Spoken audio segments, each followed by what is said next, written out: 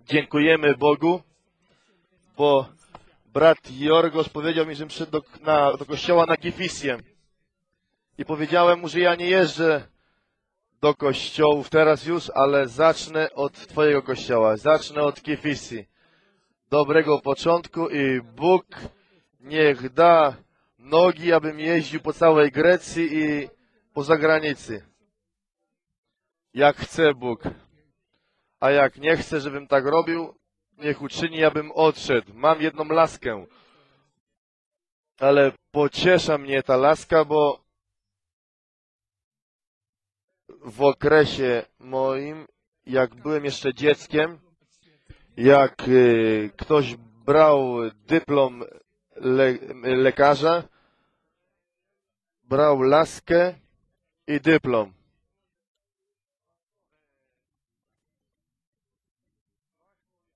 z ładnym ubraniem miał też jedną laskę, lekarz, którą machał na drodze i nie był ani kulawy, tak jak ja, ale on ze swojej pychy nosił laskę, bo był kimś, a ten kimś był lekarzem. Dzisiaj nie mają takiej wartości lekarze, jak mieli wtedy i poszedł Szulis ze swoją laską po drodze i machał tą laską i pokazywał, że jest naprawdę lekarzem. Umarł jednak. I umarł poprzez swoją nieuwagę, bo miał jedne zaczarnienie na ciele i zaczernienie yy, potrzebuje uwagi bo możesz się rozszerzyć na całe ciało i możesz umrzeć.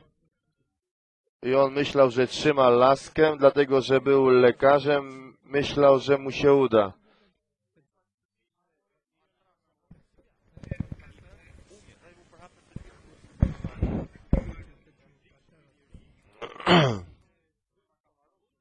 Dziękujemy Bogu że przyszłem dzisiaj tutaj, aby zobaczyć kościół na Kifisi, abym nie zobaczył też kościół na Kifisi, pomimo, że o kulach, chwała Bogu. Chciałem przeczytać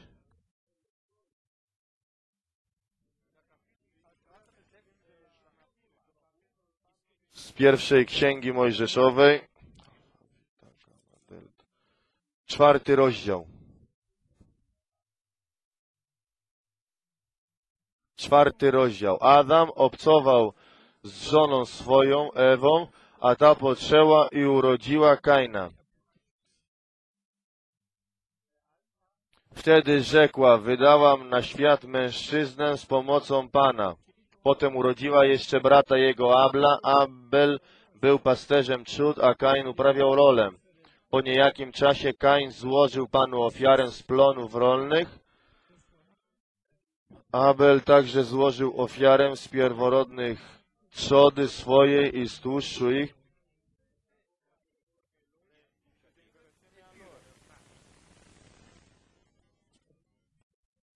A Pan wejrzał na Obla i na jego ofiarę, ale na Kaina i na jego ofiarę nie wejrzał. Wtedy Kain rozgniewał się bardzo i zasępiło się jego oblicze. Rzekł Pan do Kaina, czemu się gniewasz? Czemu zasępiło się Twoje oblicze? Wszak byłoby pogodne, gdybyś czynił dobrze, a jeśli nie będziesz czynił dobrze, udźwiczycha grzech. Kusi cię, lecz ty masz nad nim panować. Potem rzekł Kain do brata swego Abla, wyjdźmy na pole, a gdy byli na polu, rzucił się Kain na brata swego Abla i zabił go. Wtedy rzekł Pan do Kaina, gdzie jest brat twój Abel? A on odpowiedział, nie wiem. Czyż jestem stróżem brata mego? I rzekł, cóżeś to uczynił? Głos krwi brata twego woła do mnie z ziemi. Bądź więc teraz przeklęty na ziemi, która rozwarła paszczę swoją, aby przyjąć z ręki Twojej krew brata Twego.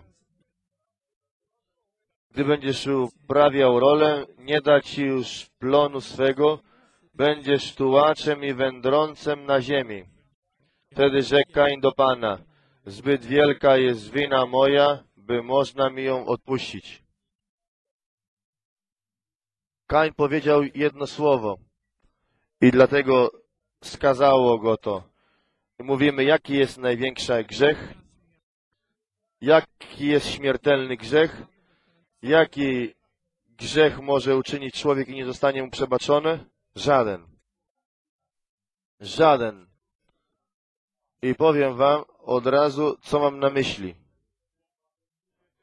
Wszyscy grzeszymy, popełniamy błędy, wszyscy jesteśmy winni we wszystkim, nie ma żadnej wątpliwości. I jak mówimy, że jesteśmy winni we wszystkim, znaczy to, że nie powinniśmy wybierać grzechy. Jaki grzech jest przebaczany? Wszystkie grzechy. Wszystkie grzechy. Niezależne jest od Boga, aby uczynił nam łaskę, aby przebaczył nam grzech, bo jest wielki. Mój grzech jest wielki. Kain mówi, że mój grzech jest większy nade wszystko. Jest nade wszystko od przebaczalności Bożej. Jest większy grzech od y, miłosierdzia Bożego. Wszystko może Bóg. Może stworzyć wszystko. Może zachować nasze życie. Może pobłogosławić nas, nasze dzieci. Ale przebaczyć nam nie może wszystkiego. Dlaczego? Bo jest mój wielki grzech. Kain to powiedział. Mój grzech jest bardzo wielki. I w tym momencie widzimy pewne oblicza, które nie zostało przebaczone. Ezaf powiedział, przyszedł do Boga i zaczął płakać i powiedział, że pomimo, że płakał, nie zostało mu przebaczone. Dlaczego? Bo nie upamiętał się. To jest tajemnica wszystkich. Nie upamiętał się i nie uwierzył, że miłosierdzie Boże jest większe od jego grzechu. Nie uwierzył w to. Nie mogę uwierzyć, że Bóg mi przebaczy.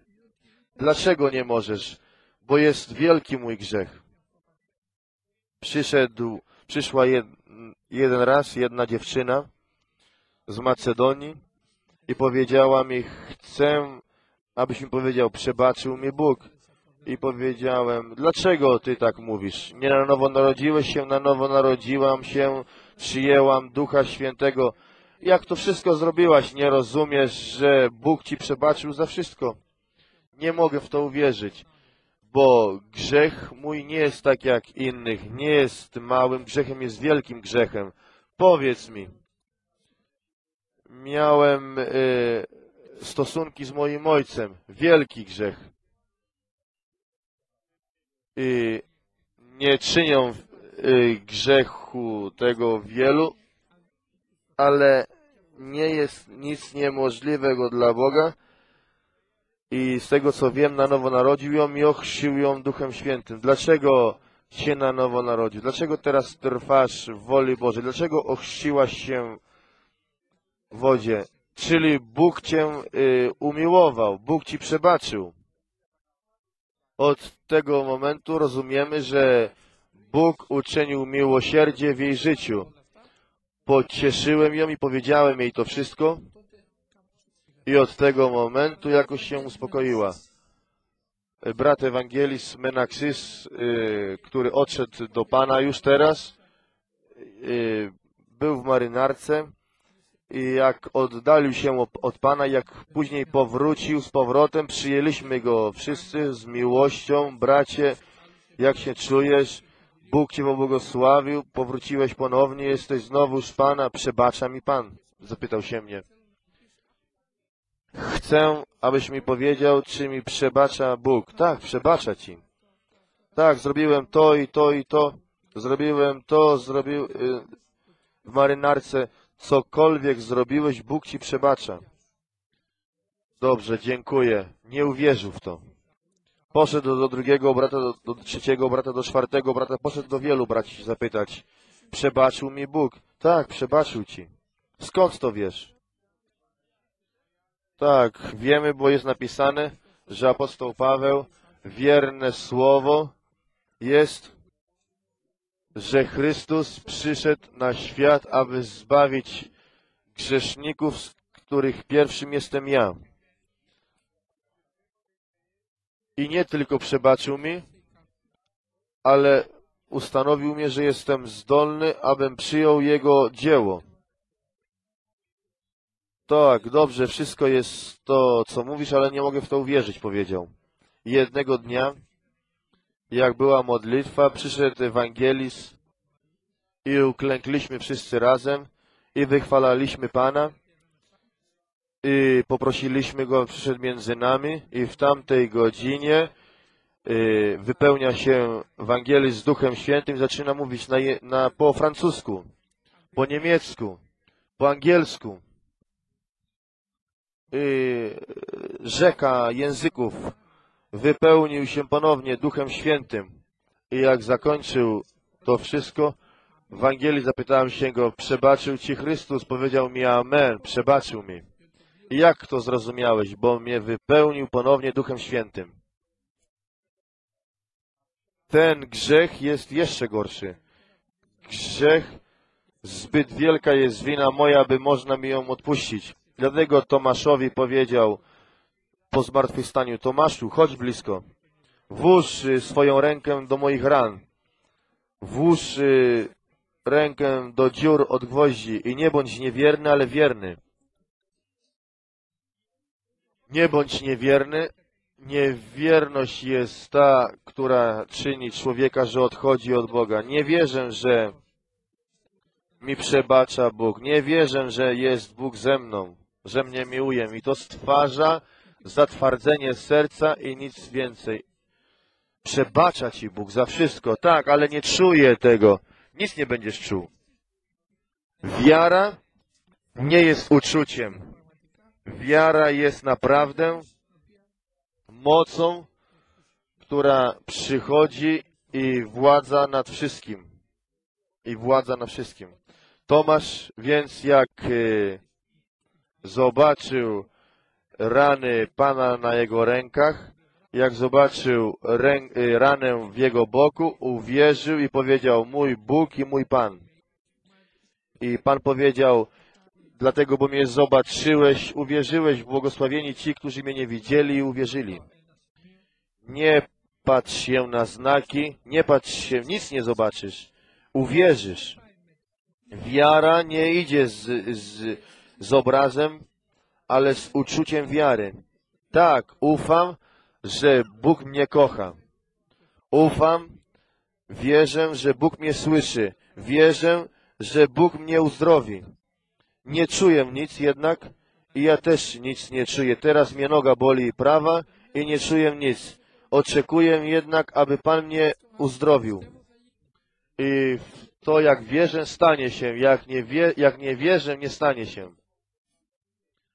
Wtedy nie mów nigdy, że y, zbyt wielka jest moja wina, by można mi ją odpuścić. I mówię wam, jakby Judasz, który wydał Pana, y, wziął 30 srebrników i później jak zobaczył, że bili Pana i chłostali go, schował swoją głowę i zasmucił się. Nie oczekiwał, że to się stanie.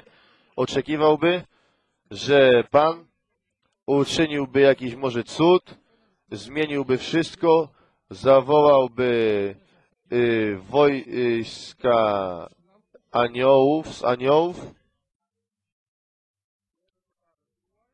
przyszliby aniołowie i by wyzwoliły go.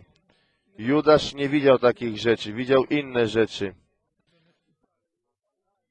Judasz zobaczył, że go bili, że go chłostali, y, ciągali go za włosy. I od razu się przestraszył i zasmucił. I zamiast pójść i powiedzieć, Panie Jezusie Chrystusie, zgrzeszyłem przeciwko niebu i przeciwko Tobie, przebacz mi, nie wiedziałem o tym, nie chciałem tego. Myślałem, że wszystko będzie dobrze. Y, Wziąłem y, 30 srebrników i myślałem, że będę bogaty. Ale nie stałem się bogaty, ale stałem się jeszcze biedniejszy. Zamiast to zrobić, y, poszedł do faryzeuszów. Poszedł do kapłanów, do arcykapłanów, rzucił pod ich nogi srebrniki i powiedział, zgrzeszyłem, bo wydałem krew niewinnych. I powiedzieli mu, co nam do tego? Co nam y, pokazujesz teraz te ciężary? Ty jesteś winny, ty jesteś tym, który go wydałeś. I w taki sposób Judasz zamiast znaleźć zbawienie, znalazł wieczną otchłań i pokazał to w tamtej godzinie, bo odszedł z tamtego miejsca, poszedł i powiesił się, popełnił samobójstwo. Samobójstwo nie jest przebaczeniem, nie jest pokazaniem, że naprawdę znasz swój grzech. Samobójstwo jest y, odejściem od prawdy. Jest czymś, czego nie chce Bóg, nie pozwala na to Bóg. I kto popełnia samobójstwo, idzie do piekła, nie idzie do nieba. Do nie, do, w niebie nie będzie tych, którzy popełnili samobójstwo i w taki sposób Judasz stracił swoją duszę i wieczne życie. Nie mówi nam Słowo Boże, że został zbawiony.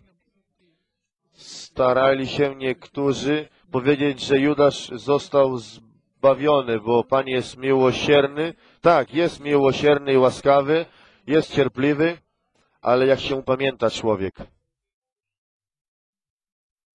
Kto boi się Boga i czyni wolę Boga, w tym jest też y, upamiętanie i wiara, że Chrystus jest większy od naszych grzechów i może nas zbawić, może nam przebaczyć i się zmiłować nad nami.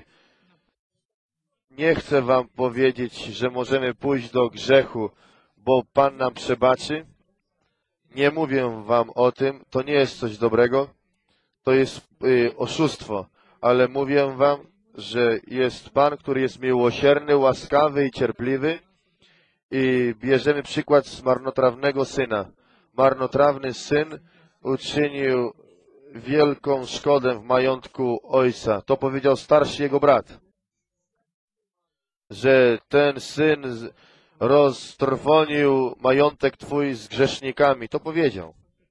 Jak y, y, przyszedł, zabił tuczne ciele i uczyniłeś y, zabawę. Dla mnie nie uczyniłeś nigdy takiej zabawy, takiej radości.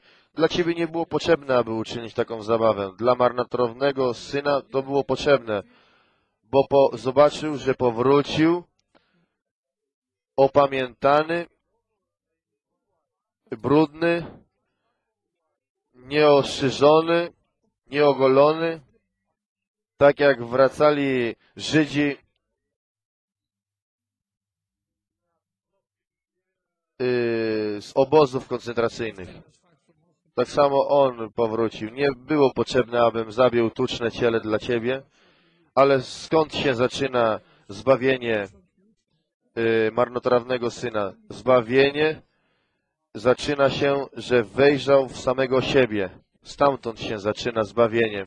Wejrzał w siebie. Co to znaczy? Że pomyślał, co ja tutaj robię? Co ja tutaj robię? Powiedział marnotrawny syn. Y, pasie, pasę świnie, yy, yy, napełniam mój brzuch omłotem świń i czynię yy, zrobić yy, najlepsze rzeczy. Nie wiem, czy jest lepszy i gorszy omłot, ale wiem, że starał się ten człowiek poprzez omłoty świń znaleźć coś, aby mógł zjeść ale wejrzał w siebie i pomyślał, ileż tu najemników ojca mojego ma pod dostatkiem chleba. Naje, najemnicy kim są? Sługami, urzędnikami, robotnicy, którzy pracują w polu mojego ojca. Mają pod dostatkiem chleba. Jedzą, jedzą i mówią, że już nie chcę więcej, bo jest, się najadłem zjesz jeszcze ten kawałek. Nie, ja już nie chcę, bo je, mam już dostatek. A ja tu z głodu ginę, wrócę do mojego ojca, powiedział. Pójdę i rzucę się do jego nóg i powiem mu, ojcze, zgrzeszyłem przeciwko niebu i przeciwko tobie i nie jestem godzien nazywać się synem twoim. Uczyń ze mnie jedynego z najemników swoich. Tak mu powiem. wierzy w to marnotrawny syn, że pójdzie do nóg ojca, ale uniży się i zlekceważy samego siebie i skaże samego siebie i powie, nie jestem godzień nazywać się synem Twoim, nie jestem godzień nazywać się Twoim dzieckiem. Nie przyszłem, abyś mnie uczynił Twoim synem ponownie, ale chcę, abyś mi dał trochę chleba, trochę jedzenia. Abyś mnie uczynił tak jak jednego z najemników Twoich. Nie chcę nic więcej. Widzicie teraz skąd zaczyna się zbawienie człowieka? Od samego siebie. On powiedział, że powiem i poszedł, tak jak y, y, powiedział, nie miał nic do czynienia innego. Nie miał ani nowych, nowego ubrania, nic nie miał. Brudny był. I wtedy stało się to, co powiedział sam. Poszedł do sw- domu swojego ojca. I jak jeszcze był daleko, jeszcze był daleko od domu, ujrzał go jego ojciec i poznał go. I jak go poznał? Poznał go, ale jak go poznał? To jest pytanie. Że on nie był tym synem z brodą, z włosami długimi, z brudny, z brudnymi włosami. Jak go poznał? Miłość Ojca widzi Cię. Miłość Ojca Cię poznaje. My wiele razy skazujemy też samego siebie. Nie jestem niczym, nie jesteś niczym dla samego siebie. Dla Boga jesteś duszą żywą, duszą, którą kocha Bóg. Chce ją Bóg, tą duszę. Chce Ciebie Bóg. Kocha Ciebie Bóg. Może niektórzy bracia i siostry Cię nie lubią. Nie chcę tego powiedzieć, bo nie powinno być o tym mówione w ogóle. Mój brud, mój brat mnie nie lubi. Bóg mnie kocha. Bóg umiłował Jakuba i żona Jakuba Ezafa. Co to jest? Y, Tego, którego kocha Bóg, ty go nie kochasz. I tego, kogo nie widzi, bo jest napisane, że Jakuba umiłowałem, a Ezafa znienawidziłem. Dlaczego go kochasz? To jest różnica między Bogiem. Czyli ma Bóg, co innego ma Bóg, y, a co innego ty masz. I rzeczy, które nie chce Bóg. Chcemy, a chce, abyśmy miłowali tego, który miłuje. A nienawidzić mamy tego, który nienawidzi go.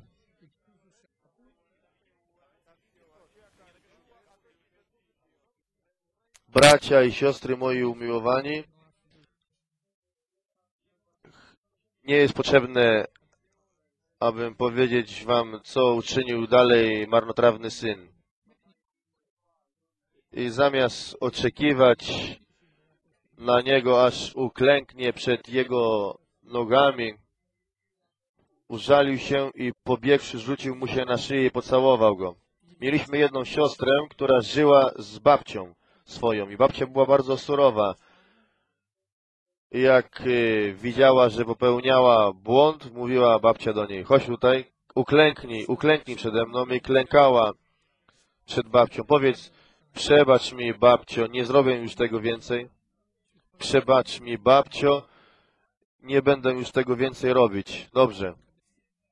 Idź teraz do swojego pokoju i połóż się. I tak się nauczyła ta siostra i zepsuła się charakter w jej i nie miała w ogóle miłości do ludzi. Nie lubiała żadnego człowieka, nie chciała ani jednego człowieka. To jednak, tego jednak nie czyni Bóg. Widzi go z dala, pobiegłszy, rzucił mu się na szyję i mówi jedno słowo, które jest tylko po grecku. Katefilse jego. Co to znaczy? Całował go gdzie tylko mógł, całował go wszędzie. Katafilse po grecku znaczy. Kogo? Jednego człowieka, który był pełen brudu, yy, śmierdział świniami, miał brudne rzeczy, brudne włosy miał, zarośnięty, ale pomimo to yy, katafilusze go ojciec jego, całował go wszędzie i od razu yy, powiedział, yy, przynieście szybko najlepszą szatę. W starogreckim nie jest napisane najlepszą, ale pierwszą szatę. Pierwszą szatę. Dajcie też pierście na jego rękę i sandały na nogi, bo jest yy, bez butów. I zabijcie tuczne ciele, bo umarły był, a ożył, zaginął, a odnalazł się.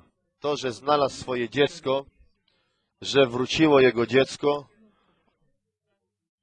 było to dla niego podstawową rzeczą. Nie interesowało go, że jego y, syn roztrwonił majątek, żyjąc y, marnotrawnie. Nie interesowało go to wcale. Nie interesowało go, że go zlekceważył. To, co go interesowało, było, że wrócił z powrotem. Tutaj co widzimy? Zważmy na samego siebie. Wróćmy do Boga. Przybliżmy się do Boga, abyśmy przyszli do Pana. Wtedy się uraduje. Wtedy pobłogosławiony będzie. Wtedy stanie się wielkie błogosławieństwo w Twoim domu. Zostanie uzdrowione Twoje dziecko. Będziesz uzdrowiony Ty. Będą uzdrowieni wszyscy ci, którzy są w Twoim domu, bo Pan uczyni wielkie działanie, którego Ty nie rozumiesz. I dziękujemy Bogu, bo naprawdę założył mu pierwszą szatę. Dziękujemy Bogu, bracia i siostry, wielką rzeczą jest, że Pan nas miłuje i przebacza nam. Nie mów, że mój grzech jest większy, aby można mi ją odpuścić. Tak jak powiedział Kain. Kain tak powiedział. Zbyt wielka jest wina moja, by można mi ją odpuścić.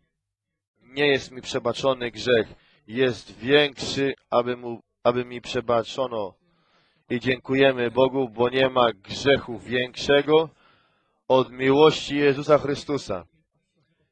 I dlatego jest napisane, że tak umiłował Bóg świat, że oddał swojego Syna jednorodzonego, aby nie został zgubiony żaden, kto wierzy w Niego, ale miał życie wieczne. Co mógł więcej uczynić Bóg? Yy, mówi, że Bóg był żonaty, miał dziecko. Nie, nie był żonaty, ani nie miał dziecko, tak jak yy, myślą niektórzy. Chrystus był Synem i Słowem Bożym. Jan nam to wytłumacza. Na początku było Słowo i Słowo było u Boga, a Bogiem było Słowo. Ono było na początku u Boga. Wszystko przez nie powstało, aby z niego nic nie powstało, co powstało. Co to było? Wyszedł od Ojca i musiał przyjść na ziemię, aby stać się człowiekiem, aby umarł za nasze grzechy i aby zbawił nas. Dziękuję Bogu, że zobaczyłem Was dzisiaj. Raduję się za Kościół, bo widzę, że jest pełny, dobrze idzie. Czyli stoicie dobrze na Waszych nogach i Pan dodaje zbawiających. Nie odchodźcie nigdy od Chrystusa. Cokolwiek słyszycie, cokolwiek widzicie, nie odchodźcie od Chrystusa nigdy. Pozostańcie w Panu. Pozostańcie w Jezusie Chrystusie. Pozostańcie ze swoimi, ze swoim y, pastorem i starszymi kościołami, którzy idą za Słowem Bożym. I Jezus niech będzie z wami. Niech was błogosławi i niech wam da jeszcze coś, jeszcze więcej. Nie zazdroście innym, zazdroście samym sobie. Nie mów, że ty jesteś niewarty, bo Pan nie jesteś warty ani ty, ani ja, ani nikt z nas. I nie bierzemy nic z naszej wartości, ale bierzemy z łaski Chrystusowej. Amen. Bóg niech was pobłogosławi i niech będzie z wami.